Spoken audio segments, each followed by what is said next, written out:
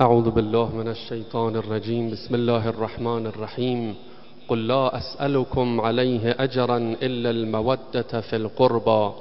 درباره آیاتی از قرآن کریم که مستند عزاداری سید الشهدا علیه السلام قرار می‌گیرد صحبت می‌کنیم آیه 23 از سوره مبارکه شورا رو قرائت کردم. خداوند متعال میفرماید ای پیامبر به مردم بگو که من از شما هیچ اجر و مزدی نمی‌خواهم مگر اینکه نسبت به قربای من مودت و محبت مبذول کنید.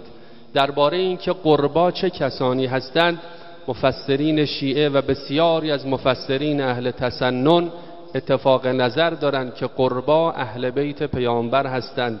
امام مجتبی علیه السلام بعد از شهادت امیرالمؤمنین خطابه ای ایراد فرمودند و فرمودند انا من اهل بیت افترض الله مودتهم علی کل مسلم. ما همون خانواده ای هستیم که خداوند متعال محبت اونها و مودت اونها رو بر هر مسلمانی واجب کرده است. حیث قال قل لا اسألكم علیه اجرا الا المودت فی القربا و همین آیه نورانی رو تلاوت فرمود. نکته دوم این است که مودت اهل بیت اقتضا می‌کنه که انسان در غم و شادی شریک با اهل بیت علیهم السلام باشد.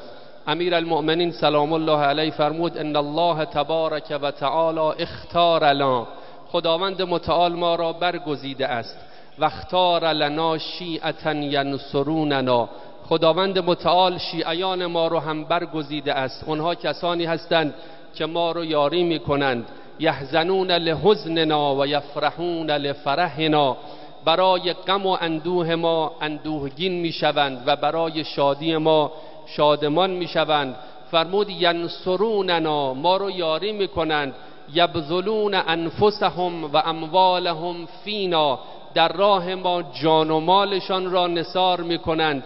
فرمود اولئک منا و الینا اونها از ما هستند و به سوی ما باز میگردند. در روایت نورانی دیگری امام رضا علیه السلام به ابن شبیب فرمود ابن شبیب ان سرک ان تکون معنا فی درجات الجنان فحزن لحزننا وافرح لفرحنا.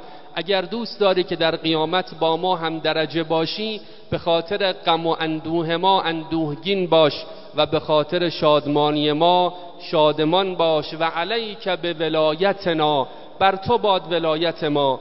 فلو ان رجلا تولا حجرا لحشره الله معه. اگر کسی تولی و ولایت سنگی را در دل داشته باشد خداوند متعال روز قیامت او را با همان سنگ محشور می‌کند.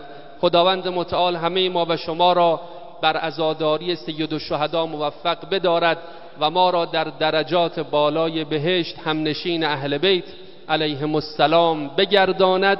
به برکت صلوات بر محمد و آل محمد.